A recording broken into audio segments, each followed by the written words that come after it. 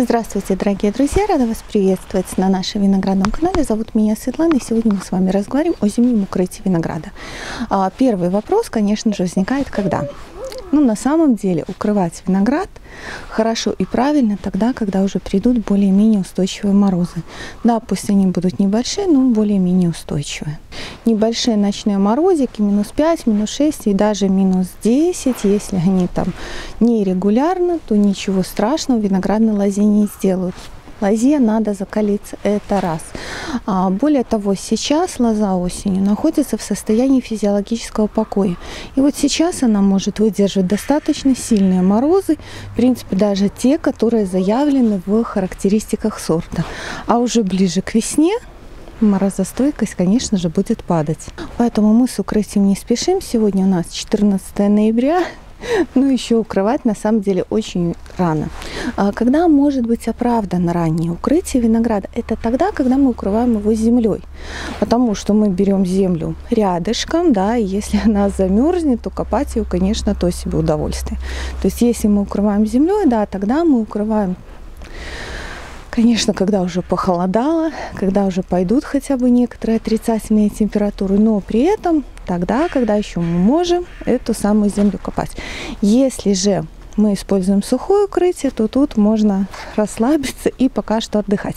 Единственный момент, конечно же, укрывать виноград и, в принципе, работать на открытом воздухе хорошо, когда, когда ну, более-менее нормальная погода.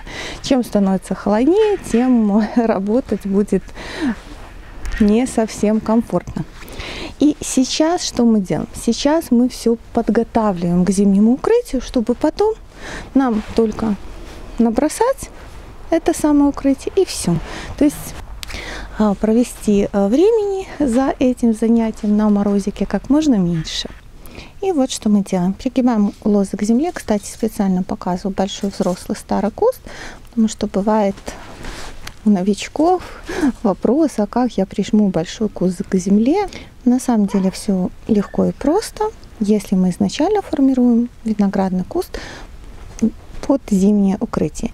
И вот смотрите, мы укладываем лозы на землю, прижимаем а, металлическими дужками, а под лозы укладываем деревянный брусочек.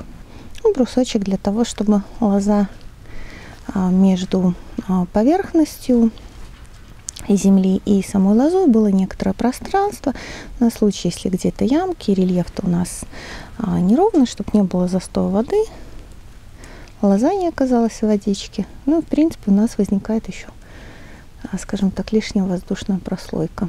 Смотрите, также у нас вот есть проволока.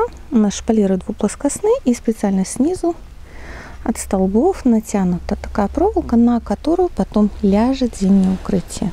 Мы укрываем вот таким материалом, называется он синтетический ватин. А, фактически это прошитый синтепон. Пользуемся мы этим укрытием уже несколько лет, наверное, а, может быть даже лет 6. Нас вполне устраивает, удобно, легко и э, виноград под ним, под таким укрытием прекрасно зимует. И повторюсь, укрывать еще рано, но пока погода более-менее комфортная для работы на улице, мы максимально все подготавливаем, чтобы потом укрыть лозы как можно быстрее. Также у вас может э, возникнуть вопрос вот при подготовке к зимнему укрытию, надо ли лозы чем-то обрабатывать. Скажем так, лишним не будет. Есть возможность медный купорос, железный купорос можно обработать. Нет возможности, а, не хочется по какой-то причине, ничего страшного, можно не обрабатывать, значит будем смотреть а, по обработкам весной. Ну а на этом я с вами прощаюсь. Большое вам спасибо за просмотр. Подписывайтесь, ставьте лайки, пишите комментарии. Под видео нажав кнопку «Еще», где ссылка на каталог наших сортов винограда и мои контакты. И до новых встреч!